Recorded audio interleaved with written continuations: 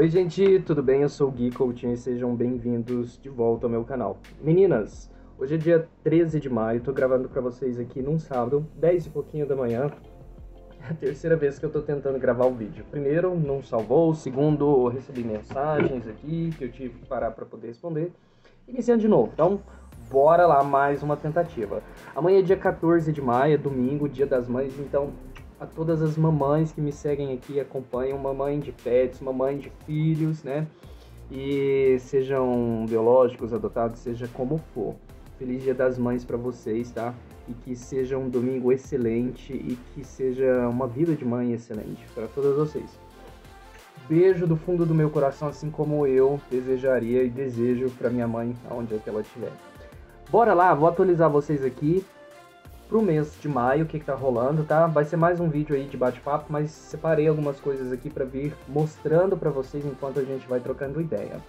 Bom, esse mês agora de maio eu recebi uma caixa da Soberano e aí eu fiz um pedido de um monte de Soberano Spell, né? Que é esse fio aqui maravilhoso, lindíssimo para poder a gente dar destaque nas nossas peças, né?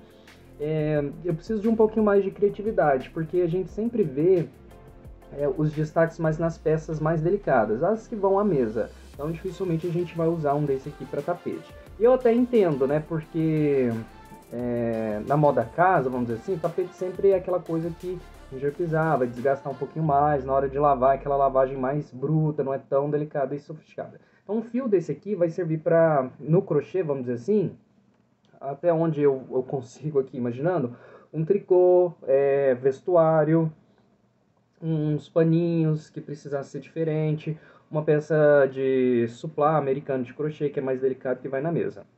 Essa aqui é a cor linho, lindíssima e tô apaixonado. Esse aqui já tinha vindo pra mim, né? E aí eu quero fazer um, um joguinho aqui, comecei a fazer esse americano aqui. Lindíssimo, mas tá encurvado, olha só como que ficou. Ah, na videoaula, então tô usando aqui Soberano Cru e o Spell, essa cor aqui que é o linho, tá? O que que acontece? Na videoaula, essa partezinha aqui, ó, do, do acabamento, não do acabamento, essa parte aqui onde eu ponho os pontos altos, eu coloquei 10 pontos altos aqui. Na videoaula, se não me engano, são 12. E aí começa a embabadar, sobra um pouquinho de pontos. Só que aí na hora que a gente vai passar o destaquezinho aqui de ponto baixíssimo, ela dá uma repuxadinha e aí acabou emborcando. Então, eu vou perder esse acabamento aqui, que eu vou desmanchar tudo, vai perder para emendar depois, não fica legal, né, o fio mas eu tenho esse aqui, chegou uma, uma quantidade legal aqui para mim, então tá tranquilo. E aí, eu vou desmanchar essa parte aqui do barbante cru, fazer 12 pontos, vai ficar sobrando. Depois eu vou vir com esse outro de destaque finalizando. Quero ver se eu consigo fazer umas 6 peças, um joguinho com 6 peças. Eu gostei, é um, um joguinho mais é, cru e essa corlinho é mais neutro, né? Não é tão... é mais sofisticado às vezes. Não é aquela colorido, não, não chama tanta atenção. Então é para uma mesa mais sobra, uma mesa mais discreta, uma mesa um pouquinho mais sofisticada, sem tanta cor nessa mesa, né? Uma, vai ser uma proposta assim. Então eu vou ver se eu faço aqui e deixo na minha pronta entrega essas seis peças. Eu queria mostrar aqui Soberano Spell, tá? Então, você que tem aí na sua cidade o armarinho, sempre for comprar, e o pessoal já tem costume aí, né, de comprar Soberano, peça aí da Soberano Spell, e também se seu armarinho não tem, pode pedir para o lojista aí dar uma olhadinha com a Soberano, que tá linda as cores. E também tem a cor ouro, olha só.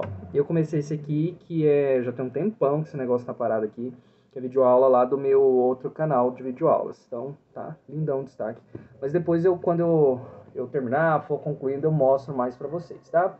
E durante esse mês de maio, eu nem sei direitinho se foi só maio, se eu comecei lá em abril, porque em, até abril eu fiz os americanos, né? O Supla Charme lá da Camila do Ateliê Doce Crochê. Nesse mês de maio agora, foi quando eu comecei a fazer os quadradinhos. E aí eu trouxe para casa, levei um barbante cru para fazer as bases lá no trabalho, fazer aqui, fazer lá e tudo. Só que, tipo, eu não consegui concluir nenhum tapete, nada. Gente, tá muito puxado. Então eu tô desenvolvendo um trabalho que, tipo assim, a Vilma, minha amiga de trabalho, que coordena lá o atendimento, então eu fico ali no atendimento. Ela também faz os atendimentos, mas ela tem um, um, uma quantidade de trabalho que é é, mais minuciosa que a minha, que só fico atendendo mais e recebendo dos sócios do clube onde eu trabalho. Então, como ela está de férias, eu estou fazendo o que ela faz e o que eu faço. Então, serviço de duas pessoas, que na parte da manhã eu e ela, Tô fazendo tudo sozinho. Quando fica muito apertado, telefone, isso, aquilo e tal, aí atende telefone, atende balcão, atende WhatsApp, responde e-mail, toda a documentação de sócio é pedida através de e-mail, que liga, que pede e tal. Não é só atender e desligou, tá pronto. Às vezes é uma demanda, registra, mandar registrar boleto, isso. É muita coisa, muita anotação, um volume de coisa enorme. A gente, a gente pira, assim. Então não deu esse mês de maio para desenvolver mais os crochêzinhos. Eu chego de manhã às 7, uma hora antes, mas tem que fechar caixa e tudo. Então eu vou adiantando algumas coisas para quando começa de fato meu horário, tá um pouquinho mais tranquilo, não ficar tão apertado e mesmo assim fica. É, e aí, fiz aqui, vou mostrar para vocês alguns quadradinhos, tá vendo assim? E fiz a base. Os quadradinhos aqui, gente, né, o Multicolor, o Eco Brasil Multicolor, é referente à ordem 6. Então, estou usando aqui nesse aqui, por exemplo, que vai de um cru, rosa bebê, um, tem um rosa aqui mais ou menos, e o Multicolor de verde, tá?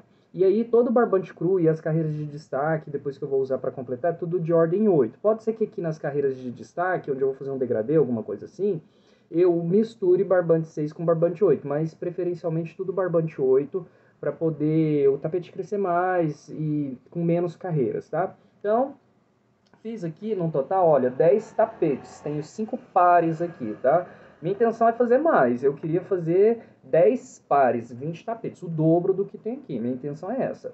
Então, vamos ver se eu consigo. Ó, um parzinho aqui desse rosa mais clarinho, né? Um outro parzinho aqui desse azul, que vai de um azul bebê para um turquesa, que tá lindíssimo aqui um, um azul bebê para um azul celeste, para um turquesa, um bebê, não sei muito bem aqui a mescla aqui. Aí tem esse aqui que vai de um rosa para um pink, um rosa bebê passando para um rosa e um pink, parzinho também. Esse outro parzinho aqui que vai de um, um lilás bem clarinho para o lilás, né? Que tá lindíssimo. E outro parzinho aqui que é esse de amarelo, de um amarelo bebê para um amarelo forte, que tá lindo. Então, no total aqui, eu tenho essas 10 bases aqui, que tem os cinco pares de tapete, tá? Então, estou desenvolvendo. Também comecei a usar as sobrinhas das sobrinhas fazendo esses tapetinhos aqui, que é o Sai da Crise da Pat Kelly. O biquinho é diferente, né? Eu peguei uma foto lá no Instagram da Valéria Miss Crochê, então fazendo igualzinho lá o bico, igual vi lá na foto dela, tô desenvolvendo aqui. Mas é o Sai da Crise. Aí essas duas cores mais fortes aqui no centro ficou mais pan, assim, depois eu fiz tipo uma paleta aqui mais candy color, né? Mais fria, né? Foi um salmão, um rosa, o lilás e o bege. Gostei, mas talvez nos próximos eu combine mais as cores, né, e tudo, e quero fazer carreiras completas, né, não quero terminar a cor no meio da volta, então estou tentando finalizar as voltas com a cor depois mudar de cor. E ele ficou mais ou menos aqui 51 centímetros, né, barbante de ordem 6, agulha 3,5, tudo fio 6 aqui que eu usei. Eu quero um pouquinho maior, talvez até uns 60 centímetros, eu acho, 55 a 60 então, talvez eu aumente aqui mais umas duas a quatro carreiras aqui, não sei bem, tá? E aí vamos ver como vai ficar. Também tem uma coisa bem antiga aqui que eu quero até finalizar, que é essa base aqui. Ó, tá até grudada aqui. Tá vendo? Já tô até na parte aqui de fazer o bico, não sei nem qual que é o bico que eu vou fazer aqui, mas depois dá um jeito aqui. Eu acho que é um simplesinho. Vamos finalizar aqui. Ficou nada legal, né? Tem dois tons aqui de bege, se dá pra ver. Um bege, esse aqui na verdade é um castanho, né? Dá pra ver aqui, assim, às vezes a diferença. E esse vermelho nada a ver. Só vai dar pra fazer um aqui, finalizar isso aqui pra depois utilizar, aqui a ordem 8, se não me engano, utilizar esse castanho aqui com outra coisa. Então, por enquanto, por hora é isso. Tem mais coisas. Aqueles suplás que eu fiz, né, os americanos do Supla Charme, não vendi nenhum. Teve alguém que me perguntou na caixinha, eu não vendi nenhum ainda. E aí, é, não tirei foto, não fui comprar as coisas, quero gravar, tem que fazer conteúdo. Agora, esse mês eu tô trabalhando de 8 às 18, então fica difícil no meio de semana para sair comprar alguma coisa e tudo mais. Hoje é sábado que eu tô gravando para vocês. Bem provavelmente eu vou conseguir subir aqui agora na avenida para poder fazer uma comprinha, tem que depositar um dinheiro, aí talvez eu compre algo e consiga mostrar para vocês. Mas é isso, queria dar uma atualizada. Feliz Dia das Mães para todas as mamães e a gente se vê no próximo vídeo. Já sabem, né? Tchau!